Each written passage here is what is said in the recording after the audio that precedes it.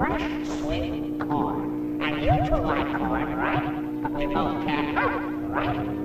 Okay, then I have a deal for you. That corn is ready to pick. So whoever likes it most will have it all by the end of the day. Deal?